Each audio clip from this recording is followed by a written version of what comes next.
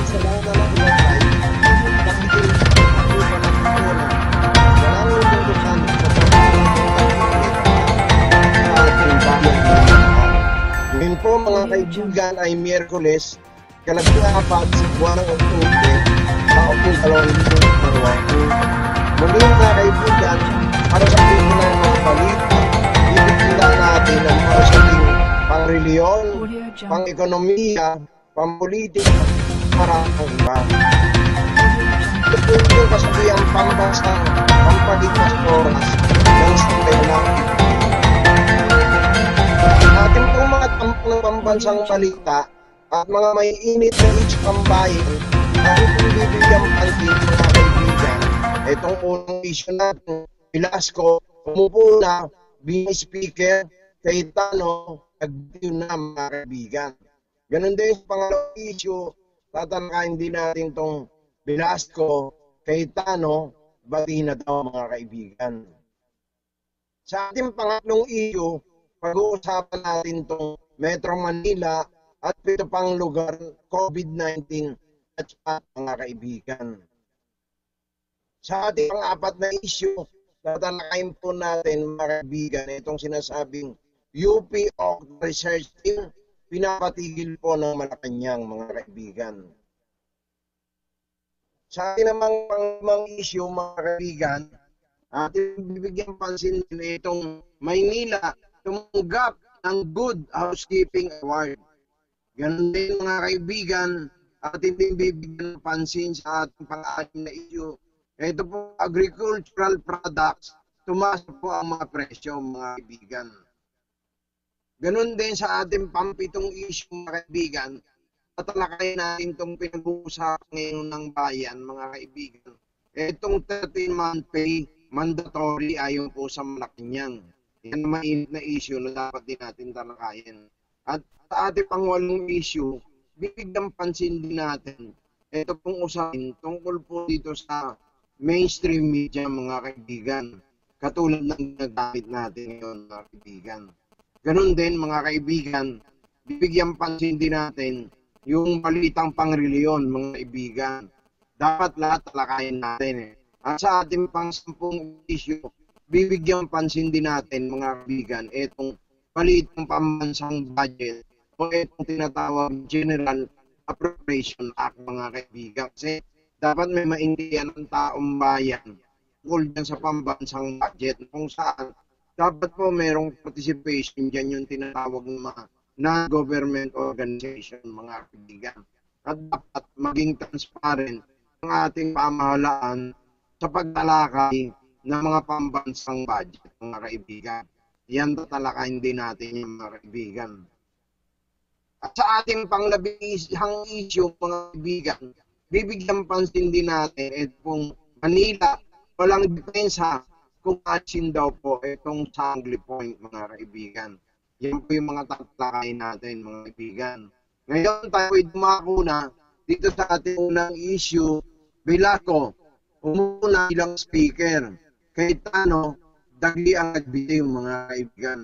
Formal mo po kahapon, ito pong si Parinduki, Representative Lord Alan Blasco bilang bagong House Speaker, kasabay naman ng pagbibitiw sa pwesto nito ni Pateros Representative Alan Peter Cayetano mga kaibigan.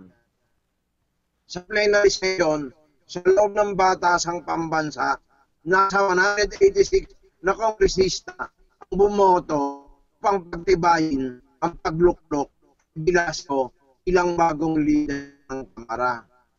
Ang ratifikasyon ay upang huwag nang questionin pa ang legalidad ng pagkakaili kay Velasco na una nang isinigawa noong lunes sa sesyon dyan po sa Celebrity Sports Plaza sa May Quezon City mga kaibigan.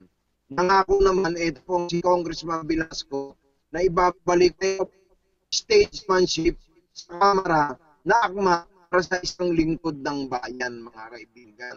Samantala, sa kanya namang Facebook Live mula sa kanyang tahanan sa Taguig City mga kaibigan, inanunsyo po nitong si Kitano kanyang pagbibitiw sa pwesto. Verbally, sabi ni Cayetano, I am tenting my irrevocable resignation as the Speaker of the House. Ito po ang naging payag ni Cayetano bago ito magtungo sa Malacanang matapos po ipatawag ni Pangulong Rodrigo Duterte. I am committed to the President. There's no good leader without a good follower. Ito po ang binanggit nito pong congressman at dating speaker kay Tano, mga kaibigan.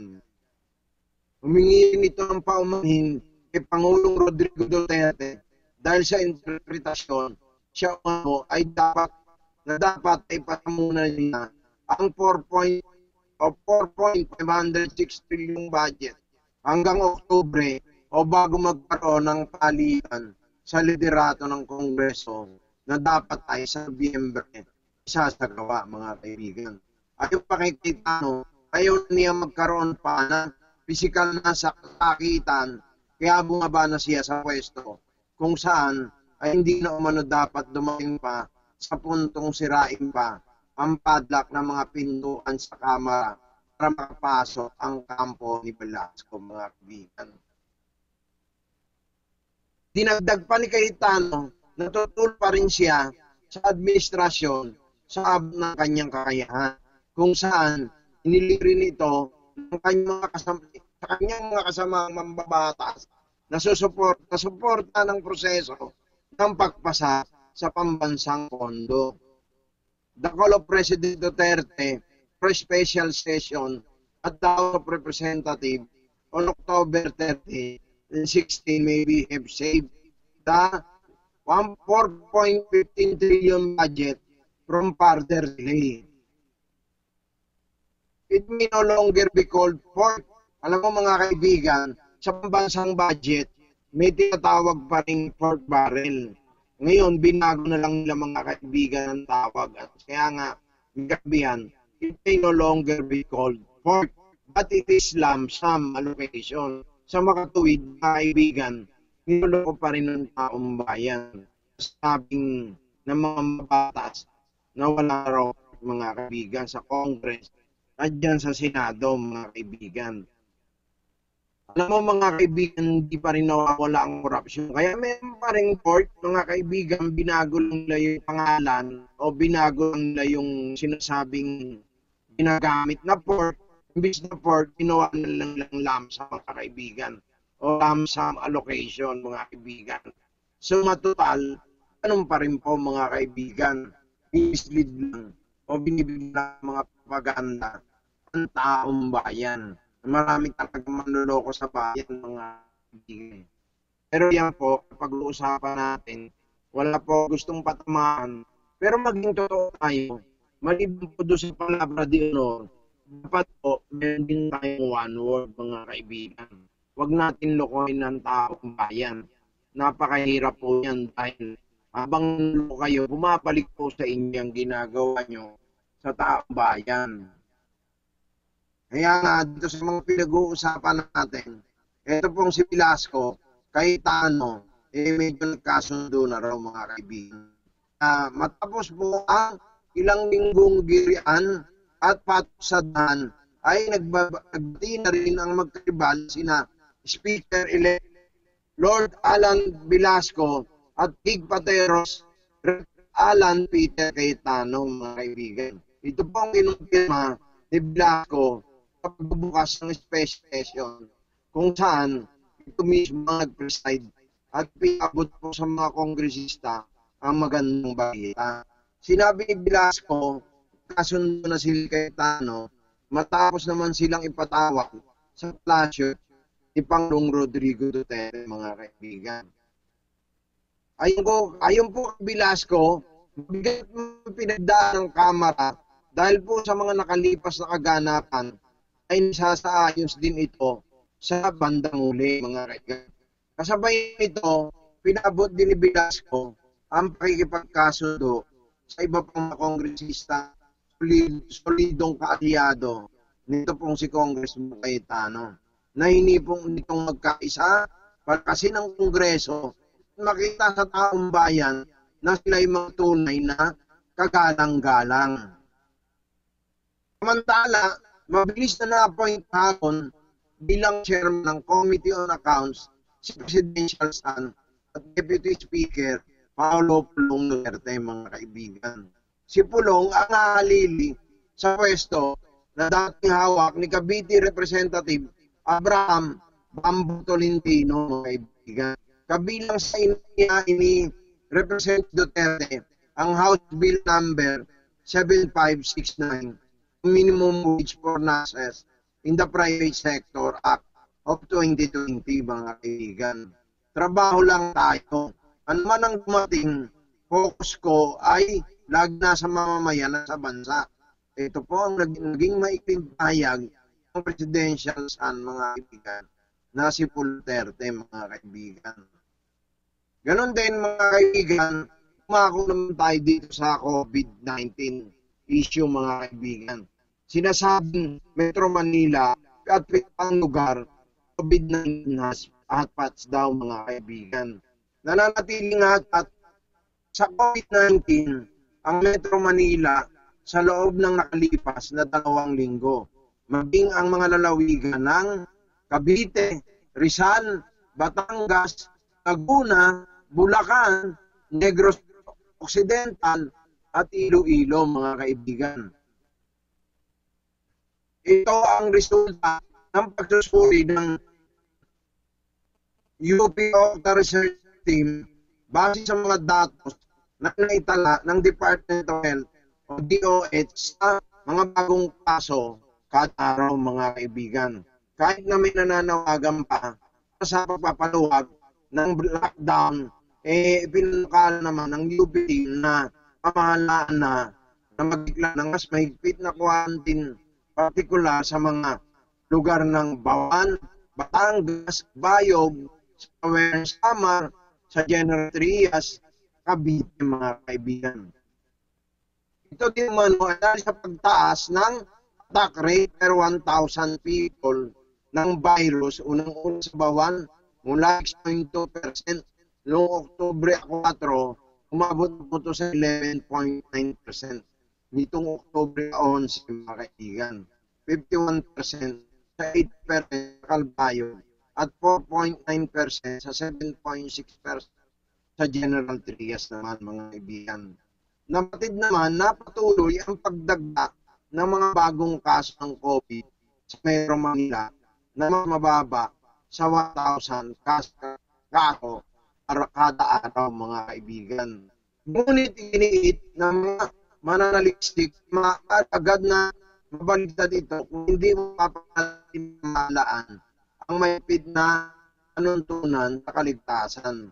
Sa lokal budget ng DOH, itong nilaan na 2.5 billion sa pagbili ng COVID-19 vaccine na libreng pamimigay sa 3.8 million Pilipinos, mga kaibigan. Ang tanong lang po dito, mga kaibigan, libreng pamimigay, ang tanong ko is kahit libre pa yan, sinong Pilipino papayag na mabigyan ng vaccine. Kaya yan, dapat tignan muna ng matindi clinical trial. Talagang walang side effect sa taong bayan, mga kaibigan. O kung may ibang technology na pinopropose, bakit na-focus lang sa tatawag na vaccine? Malagang makita ng buong mundo hindi lang vaccine, baka may ibang technology na kailangang malaman ng mundo. Kasi, alam mo mga kaibigan, ang totoong nangyayari vaccine. May politika pa rin eh, mga kaibigan, sa World Organization, mga kaibigan, na politika pa rin pag napag-uhapan po itong vaccine, mga kaibigan. Buong mundo halos may mga pondo ng dala dito po sa vaccine. Eh kung meron naman tayong makikitang epektibo at talagang sa prevention at doon sa cure treatment, mga kaibigan, bakit hindi natin pagbigyan? Kaya tayo, nagpapasalamat at sumaludo sa OIC at Undersecretary ng DOH, mga kaibigan, kay Berhere, mga kaibigan, sa mabilis na naging aksyon sa request po ng Kamao Foundation. Hindi po sa tinatawag na COVID-19 prevention and treatment ng aming pong kaibigang scientist doctor na si Constantine Daro, mga kaibigan. Na unang nagbabalak na makarating ito po mga kaibigan sa bansang Pilipinas. Na yan po naman ang inaasikaso namin hanggang sa kasalukuyan. Kaya sulat natin tayo sa OIC ng DOH kay Undersecretary Behere, mga kaibigan, na kung mapagbibigyan yung tinatawag na endorsement na ginawa, gina, ginawa naman ng DFA mga kaibigan na urgent at emergency itong case na ito mga kaibigan. Kaya tayo po, pag-ugnayan, nagbigay po tayo ng communication, hindi lang sa Department of Science and Technology, dito po kay Assistant Secretary Benja mga kaibigan na mabigyan na ng tinatawag na endorsement para po doon sa sinasabi travel permit. Kasi hindi man ibig sabihin pupunta dito yung mga science doctor na pinungunahan po itong si Constantine Pandaro kasama pa yung mga ibang scientist doctor para lang maglagalag dito eh. Ang purpose nito, emergency. Kaya dito makikita natin mga kaibigan na may mga dala silang gamot. Iko-comply naman sa FDA, mga kaibigan. Eh, hirap lang pagka nakaprogram na na ang target ng gobyerno, hindi lang sa bansang Pilipinas, nakaprogram na na ang dapat gamitin. Eh, ito pong vaccine, mga kaibigan. Bagamat meron namang ini-introduce na gamot, hindi ito po pagayang gamot na ini-introduce ng iba. Kasi ito, willing i-comply lahat ng requirement. At saka po ito, yung mga clinical trial na, na matatapos na dyan po sa Europe, mga kaibigan. Sa buwan Disyembre, pag natapos na po, may data na to, labas at mag-present mga kaibigan sa FDA. At pag nangyari ito mga kaibigan, malaking bagay tayo po yung magtagumpay sa laban sa tinawag na COVID-19 virus mga kaibigan. Di ba naman nawawa, in-admit naman ng DOH mga kaibigan, kahit ng DOST, yung mga scientists, na talagang wala pang gamot mga kaibigan dito sa COVID-19 virus mga kaibigan. Kasi kung meron na sa hindi na po nadagdagan itong tinatamaan ng COVID-19 virus. At ang masakit na katotohanan pa mga kaibigan, itong Johnson Johnson on COVID-19 mga kaibigan, study, o oh, ito po may study sila, nahinto mo nila. Johnson Johnson COVID-19 study, post due to unknown illness in participant. O nakita po natin mga kaibigan, pinahinto po ng Johnson Johnson yung kanila pong pag-aaral. Dahil po sa sinasabing meron daw pong unexplained illness sa isa pong participant dito po sa ginagawang ano, clinical trial mga kaibigan. Kaya yan dapat na ingatan, napakahit na mag-inject, magpa-vaccine tayo. Tapos, yung vaccine na gagamitin, eh yung COVID-19 mga kaibigan, imbis na negative ka, magiging positive ka pa mga kaibigan. Eh dito po sa ini-introduce netong kaibigan nating scientist doctor, na hindi naman po ito binibenta, malaking bagay na magawa dito sa bansang Pilipinas. At least, unang masisave dito, yung mga kababayan nating Pilipino, mga kaibigan. Hindi lamang po nagmula sa Texas, USA, ito pong scientist doctor. At kahit i-research nyo, i-google nyo mga kaibigan, makikita nyo kung paano ito, marami ng bansa, hindi lamang sa COVID-19, yung mga natawag na cancer, mga hopeless cases, eh na-probe na po ng mga scientists na to, mga kaibigan. Eh may kasabihan nga mga kaibigan, pag napag-uusapan po yung COVID-19, Ito po yung tinatawag na destroyer of our lives, economy, way of life, and society, mga kaibigan. Yan po yan.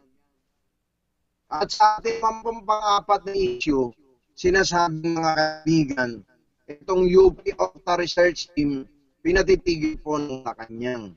Pinatitigil na ng Malacanang ang UP Octa Research Team sa pagbibigay ng mga rekomendasyon sa publiko tungkol dito sa tinatawag na COVID-19.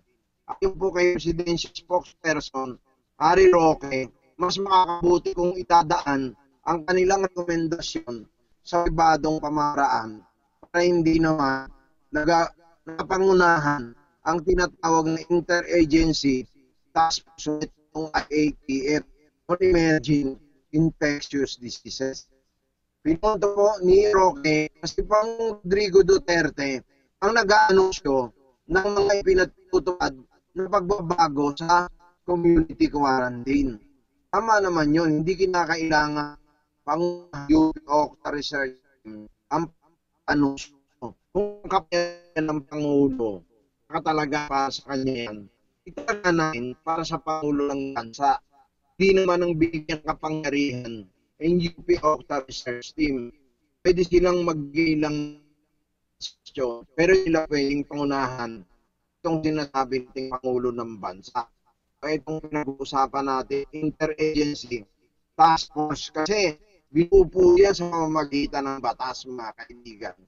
Kaya kailangan isunod po tayo sa pamamagitan ng batas mga kaibigan. Nauna na rito mga kaibigan, inirekomenda po ng UP Octa na muling magpatupad ng mas mahigpit na quarantification o localized lockdown sa lugar ng mga Bawan, Batangas, Calbayog sa Western Samar at General Trias sa Cavite mga kaibigan. Dahil daw po sa mataas na ng sa mga nasabing lugar.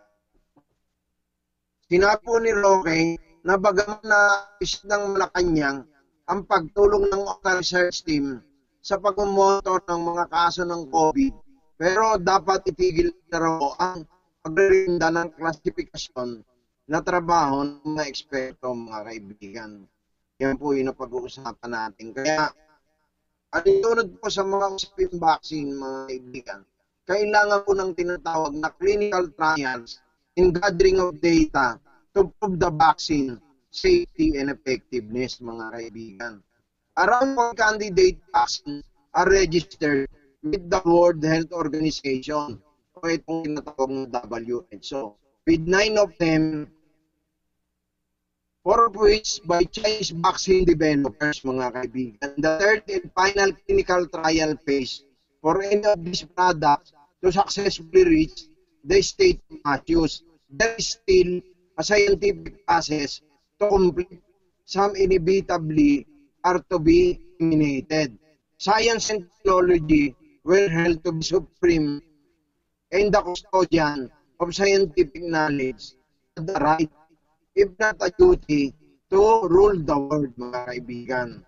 Yan po yung issue na mga napag-usapan natin tungkol po sa COVID-19. Kaya kaibigan, magandang balita to sa bansang Pilipinas. Bagamat dadaan po kami sa mahabang proseso, kasama po natin dyan si Doc Kiki Obido sa mga kaibigan. Kung ano ang proseso, sinusunod po namin yan mga kaibigan. Siyempre, kasama po natin dyan yung VP for Finance ng tao, si Mario Alex Cristobal, mga kaibigan. Napakarami nating mga kaibigan, mga kasama na tumutulong para po magkaisa na talang maitaguyod natin itong paglaban sa COVID-19 mga kaibigan. Ay na-appreciate naman ng DOH at DOST mga kaibigan ang kahalagahan ng pagtulong ng Kamao Foundation.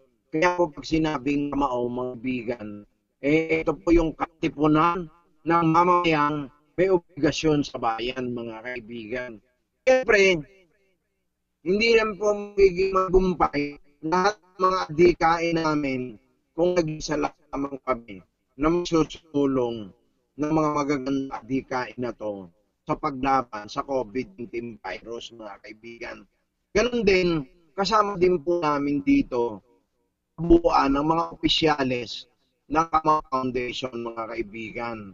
Ganon din, mga kaibigan, siyempre, yung masipag nating pulo ng Kamao, mga kaibigan, eh, ina-acknowledge natin yung effort, sakripisyo para po mapagtulong-tulungan natin mapaglabanan itong gera o itong laban natin sa COVID-19 virus, mga kaibigan. Nakatauhan po to ni President ah, Edward Perez, mga kaibigan. Ito si Dr. Edward Perez, mga kaibigan. Kaya nga, science and technology ang importante, mga kaibigan. Hindi kami titigil hanggang hindi namin to napagtatagumpayan, mga kaibigan. Kahit umulanin, arawin, inaabot namin. Pero ito po, walang katumbas na halaga ang ginagawa na gusto lang namin talaga unang-una makatulong sa bansang Pilipinas sa mga babae nating Pilipino. After neto, sa buong mundo, sa sangkatauhan, eh maipakalat natin pagtulong sa ating kapwa-tao, mga kaibigan. Kaya mahalagang sama-sama po tayo mga kaibigan. Natutuwa naman tayo dahil lagi din natin kasama, mga kaibigan. Ito si paring June Rance Jr., mga kaibigan, na maalalay sa amin ni Doc Alex Cristobal, Mr. Alex, Mario Alex Cristobal, mga kaibigan na lagi kaming sinusuportahan, mga kaibigan. Ganon din kay paring Archie, na lagi pong nakalalay kay Doc Rodrigo Vidosa, mga kaibigan. At sa mga iba pa nilang mga kamag-anak, mga kaibigan. Sinasabing si Dr. Gabi Obidosa, nakakatulong din mga kaibigan na masuportahan itong lahat ng mga adhikay ng Kamao Foundation, mga kaibigan. At ang magandang balita lang, mga kaibigan, malapit na rin po, mga kaibigan. Nabot lang ng itong COVID-19 virus, mga kaibigan. Pero tutuusin, dapat po nahawakan na natin yung certificate o papa-accreditation, mga kaibigan, sa pamamagitan po ng pamumuno ng Committee on Accreditation, Konsyal, Boys Junior, mga kaibigan. Eh, pag medyo ipas na to, mga kaibigan, malamang po, malamang namang ang Kamao Foundation ang maging accredited ng City Council sa lungsod ng Maynila, mga kaibigan. Dahil napag-usapan po natin ng Manila, dako naman tayo sa maraming nagagawa ng Manila sa pamamagitan ng pamumuno nito po si Mexico Moreno, mga kaibigan. At tudo tayo siyempre, kung merong mayors po, meron si administrator, mga kaibigan, sa kataong ni Pinisperto Espiritu, mga kaibigan, na pag nilalapitan natin, ay nagbibigay naman agad ng tulong sa atin. Siyempre sa pamamagitan din ni Chairman Philip Papa at sa pamamagitan din ng ating pakikipag-coordinate dito po sa kanyang staff na paring money, mga kaibigan. Kaya kapag dapat namang na umani na parangal ang lungsod ng Maynila, kaya mga kaibigan, ang Maynila tumanggap ng Good Safekeeping Award, mga kaibigan. Makaraan po isang taong paghihintay, eh natanggap na rin ng pamamusod ng Maynila ang Good Housekeeping Award mula po ito sa Department of Interior and Local Government o ito yung tinatawag na DILG bilang pagkilala sa mga reforma sa pananalapi at paggastos ng pondo ng mga lokal na pamahalaan, mga kaibigan. Sabi po ni Mary Moreno, ito po ang kauna-unahang natanggap na naturang award ng Maynila mula nung umpisang ipamigay ito ng DILG may 10 taon na akalipas mga kaibigan. Dahil dito, sinabi po Mayor Reno na naipakita ng lokal na pamahalaan ng Maynila na kaya nitong maging transparent sa pananalapi at paggastos ng tama ng mga pondo sa mga karaang taon, mga kaibigan. Unang beses na din nakuha ito sa buong kasaysayan ng pamahalaang lungsod ng Maynila last time, mga kaibigan. I already said that I will not tolerate a dismal performance from the city government under my watch. Po ang naging payag ni Mayor Moreno. We will always aim to better for Milenyo. Ayon po kay Moreno, mga kaibigan. Pinangako naman yan, hindi tigil ang kanyang administrasyon sa pamamalakas sa pondo sa pagbibigay ng mga makabuluhang serbisyo para po ng mga Manilenyo, mga kaibigan. Ang Good Financial Housekeeping Award ay isa sa pangangailangan makamit ng isang lokal na pamahalaan ang mas malaking gantimpala sa skill of good local governance o itong sasting SGG. Kung saan, bukod sa pagkilala sa maayos na pamamahala, ay binibigyan din ng insentibo ay mga kaibigan. Sa ating mga pong pang-anim na iyo, mga kaibigan, agricultural products, tumaas po ang presyo. Tumaas ang presyo ng iba't ibang agricultural product sa mga pamilihan at palengke sa Metro Manila. Tulad ng kakaunting supply na dumarating sa mga pamilihan buhat ng mga lalawigan. Price, sa price monitoring reports ng Department of Agriculture o etong DA, ang prevailing price para sa iba't ibang uri ng bigas, kane at gulay ay mataas noong September hanggang October mga kaibigan. Sa 20 putas at gulay na monitor DA, sabing isa dito ay may mataas na presyo tulad ng talong, patis, bagyo beans, pechay, pa at puting sibuyas, bawang, saging, papaya at mangga mga kaibigan. Mga produktong kane, ang presyo ng pork ham ay tumaas ng 13%. Ang ang pork, at ang pork belly ay tumaas naman ng 15%. Dahil naman sa epekto ng tinatawag na African fever, mga kaibigan. Ang presyo kada kilo ng mga galunggong ay tumaas sa 200 kada kilo mula po sa dating 160 lamang. Kaya't mas pinabura ng DA na mag-import ng galunggong mga kaibigan. Samantala, ang wuliki naman ay tumaas na mula po sa 140 mga kaibigan. Ito po mga kaibigan, na 130 ay naging 140 na kada kilo mga kaibigan. Ang imported special at premium rice, tumaas naman ng 2 piso per kilo mga kaibigan. Mga kaibigan. Habang ang local regular meal rice ay 42 mula po sa dating 40 kada kilo. Sa ngayon, mga kaibigan, ang mababang presyo lamang ay isdang bangus, karne ng baka, brisket, kalabasa, repolyo, carrots, luya, sili at kalamansi. Ngayon, mga kaibigan, dumako naman po sa ibang isyong pambayan.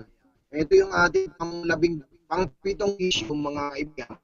Ito ang pinag-uusapang 13 pay mandatory ayon po sa kanyang mga kaibigan. Nilinaw po ng Malacanang na hindi maaring ipagpaliban ang pagbibigay ng 13-month pay sa mga manggagawa dahil naayon ito sa batas mga kaibigan. Ayon po kay Presidential Spokesperson, Roy, hanggang hindi na ang batas tungkol sa pagbibigay ng 13-month pay ay dapat itong ipatupad mga kaibigan. The law has not been amended. That is the law. That is a mandatory provision of the labor code mga kaibigan. Ito po naging payag ni Presidential Spokesperson Harry Roque mga kaibigan. Sa tanong kung maaaring magkaroon ng exemption sa pagbibigay ng nasabing bonus, sinabi ni Roque ay papaubaya nila sa Department of Labor and Employment itong Dolly ang usapin. Hanggat wala niyang pagbabago sa batas, hindi ito pwedeng ipagpaliban mga kaibigan.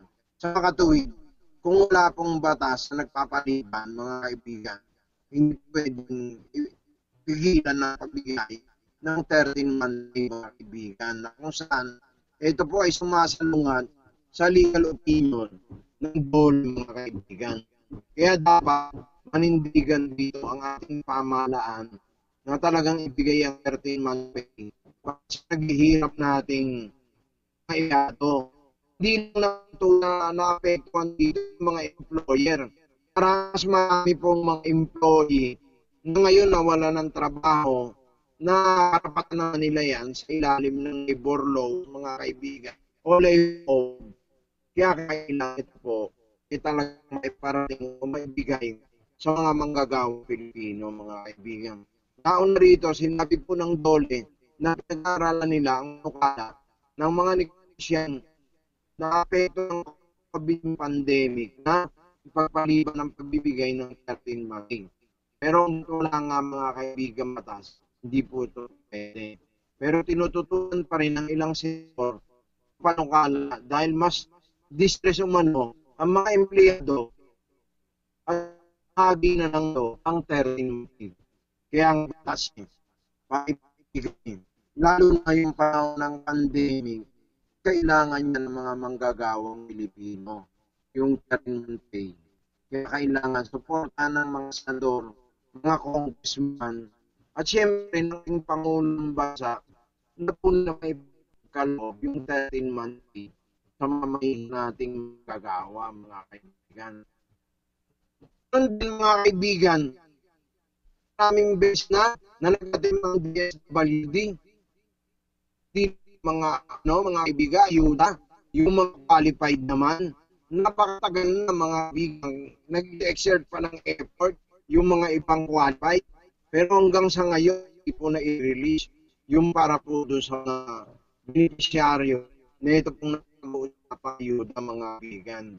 Sa hirap na dinadaanan ng mga kababayan natin, dapat mapagtog kalooban agad talaga ng ayuda na para sa kanilang mga kaibigan.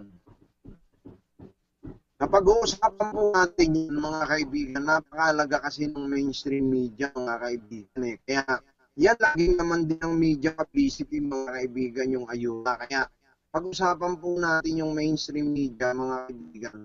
Ang mainstream media, mas direkta sing na-aksyonan agad ang mga daing ading ng bayan mga kaibigan at direkta kakarating sa mamamayan ang kaganapan sa lipunan at sa buong daigdig mga kaibigan.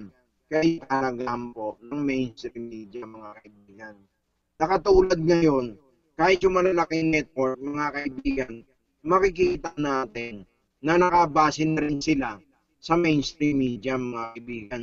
Hindi na pa sa pamamagitan ng networks. Eh, sa ibang bansa kung wala kang network o kahit dito na lang kung nasa kabundukin kang lugar, hindi maapot nung tinatawag na network media, mga kaibigan. Hindi, hindi katulad ng mainstream media. Kahit nasa kasulok-sulukan ka, kung malakas pa ang signal ng internet, eh makakarating po sa kanila yung tunay na ganap sa lipunan at nangyayari sa buong daigdig, mga kaibigan. Something profound about the public respect for the mainstream media, mga kaibigan. Many Filipinos have abandoned at additional news sources with articles written by experienced, vetted journalists, mga kaibigan. As Rolling Stones Matt Taibbi put it, for those of us in the business, the manner of Congress has been the most galing part. The Clip Notes version, Facebook 8 us. Ito po ang naging payag, mga kaibigan. Natulba na ang batas in accordance with Section 13 of the Rules of House of the Representative of the 18th Congress called to assemble, move to cast out vote, declare the position of Speaker vacant on Monday, October 12, 2020. Ayon po ito sa mga statement na inihayag ng mga ilang mambabatas. Matapos po ang formal talaga at matal si Lord Alan Velasco bilang bagong speaker ng babang kakulo ng Kongreso sa Kongreso ngayong araw mga kaibigan. O, sa balitang parilyon mga kaibigan, ito pong si Father San Ramirez, OP, namatay po nung last Saturday mga kaibigan, October 10. He was also a classmate of NA President Tito Soto and the current Secretary of the Commission on Appointment, Atty. Hector Villacon, ang mga kaibigan. Uh, napag-uusapan po natin transparency, mga kaibigan.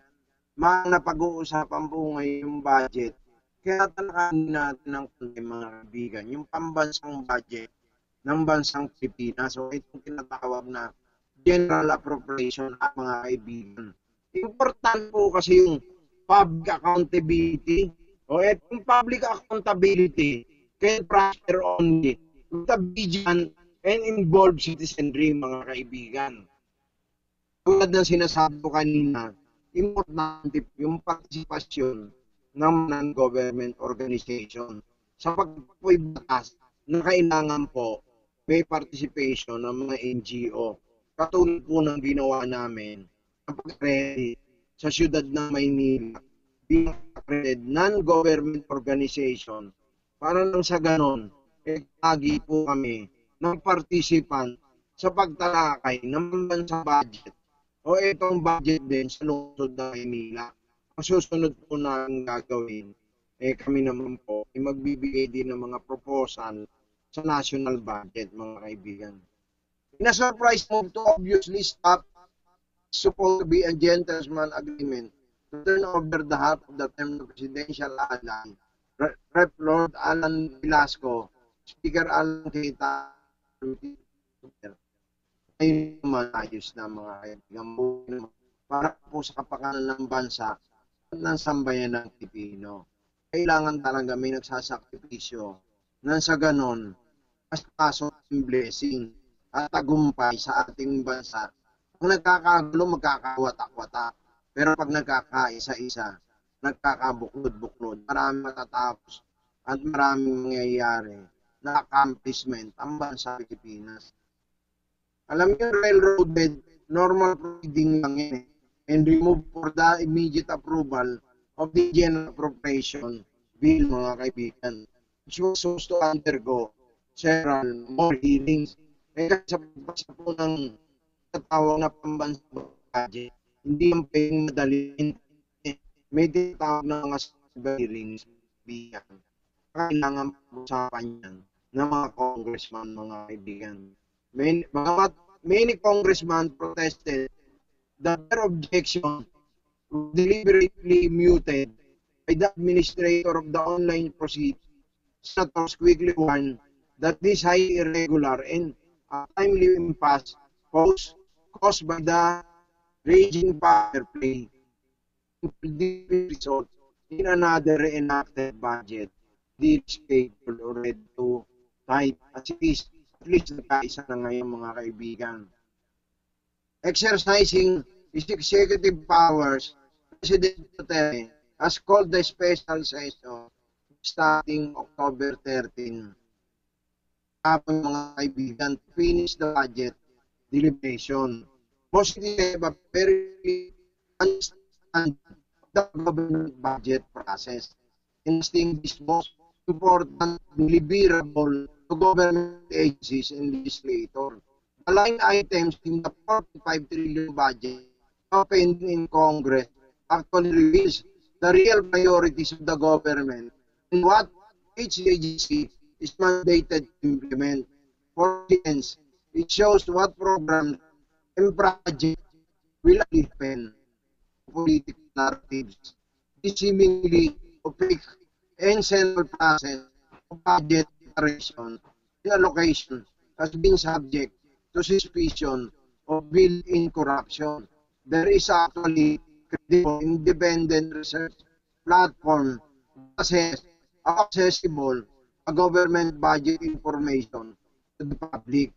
How its citizens are given the opportunity to participate in the national budget process and the budget oversight institution and auditors. This was the focus of discussion in the most recent Strat-based ADR Institute virtual town hall discussion on the 2018 Open Budget Survey o yung tinatawag na OPS mga kaibigan.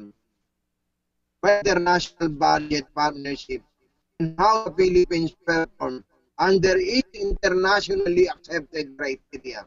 On a scale of 100, the 2019 report gave the Philippines a score of 76 in transparency, above global average of 45, 74 in budget oversight, and 31 public participation above global average of 14 mga kaibigan.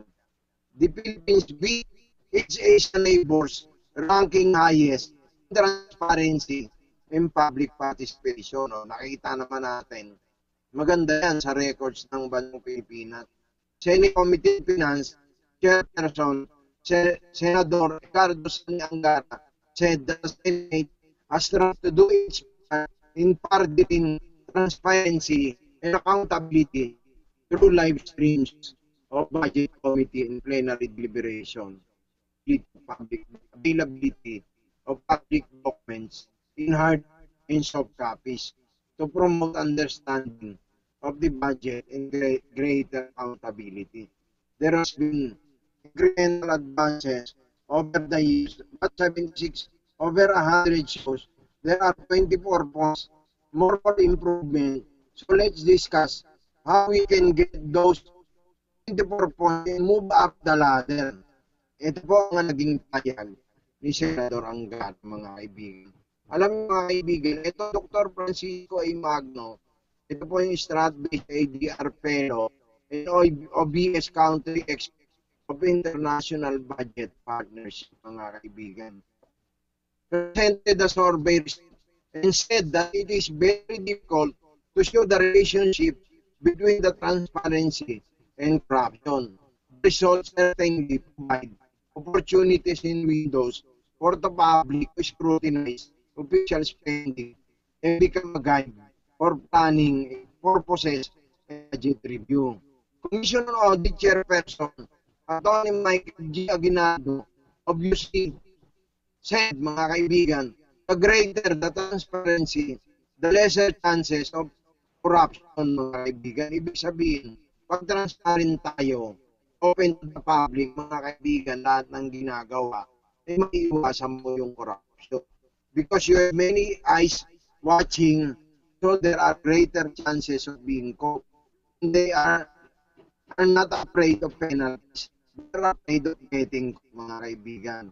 Judge, the more transparent you are, the more chances you are going to get caught. Which might then discourage you from engaging mga kaibigan dito sa pinag-uusapan nating mga iba pang issue.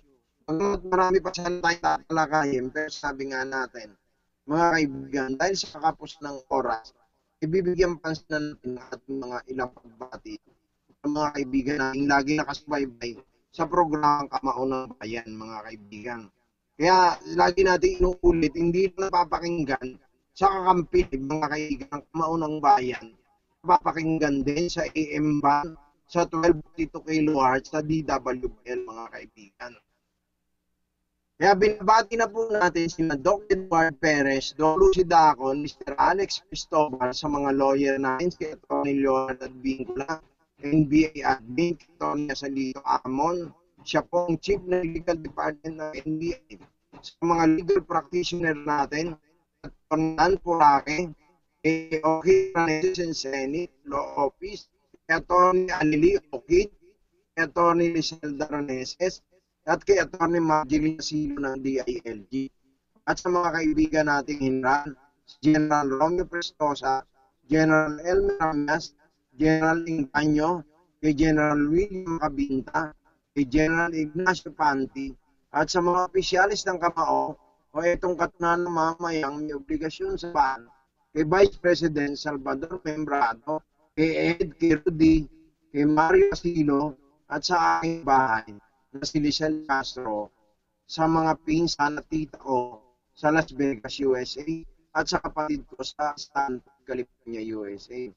Ganon din kay Salvador, kay Leo Cuanco, kay Salamera, kay parin Gil de la Vega, kay parin Tony, kay Archie Narciso, kay Didi Torres, kay Lloyd Santos. Ganon din siyempre kay paring Jun Rance Jr. O, dalawang beses na kitang binati paring Jun na, na lagi pong nakasubaybay sa program na mga comparative natin si Pang Ray Ransa, Yoyo Adis, Yok, kay Pang Ronald Villota, kay Jeannie, at siyempre sa buong Villana family. Sa Tita Pampanga naman, sa Valencia family, kay JJ, kay Ate Baby, kay Mama Glenn, kay King, at sa kanyang asawa na si Sandra. Ganon din kay Ann, kay Mamila Lapus ng Kingdom of Saudi Arabia, sa mga batch ko sa Arroyo High School, batch 84, at sa batch 84, 76 naman, sa mga classmates ko, mga kaibigan.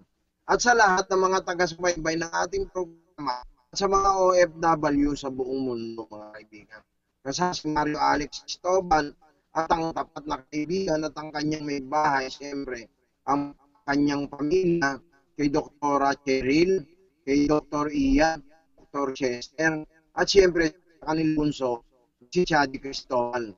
Ito po yung kilalang mga hindi mga kilalang public servant sa at tinikilala din bilang Dr. Cristobal Ban. Magagaling na banda at mga awit, mga kaibigan.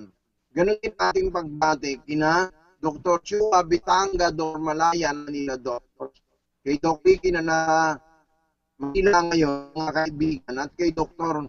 Mahita Pito sa mga kaibigan na makakasama natin sa DWBL na nasa California, US. At siyempre, nalilimutan ko laging batiin si Paring Robert Kahn at sa kanyang bahay na si Rodelin nasa Texas, USA naman mga kaibigan. At sa kapatid kong si Beng Abiliana, ganoon din kay Ma'am Gina Elizar mga kaibigan. At muli tayo po ay papasalamat sa Kampi Online.tv sa ating chairperson, kay Ma'am Penny Godemos, kay Sir San Godemos, at ating piloto na si JR na nagpasaayos upang mapaganda ang ating signal at maayos na mapanood. Siyempre, tabayanan po natin si Paring Jun Ansure, iba pang programa dito po sa programang Kakampi Live mga kaibigan. Sa mga nais magpabati sa programa namin, may birthday o mga okasyon, tumawag lamang sa telepono na nakisplay sa aming pong screen mga kaibigan. Huwag niyo kalilimutan, kalilimutang subaybayan tuwing Bernes ang kamahatian sa TWBL 1242 sa tapitan ng mga inyong radyo alas 9 hanggang alas 10 umaga kasama po sila Pastor Natalie Andrew, si Pastor Bobby Natividad at Pastor Dr. Amanda Opitosa. Muli sa pangalan ng aking kapwa, ako ang inyong lingkod, Rhea Villana, nag-iwan sa inyo ng mga katagang. Ito ng paningin sa buong mayapal upang buhay ay maging matagumpay. Hanggang sa susunod na Miyerkules, maraming maraming salamat po.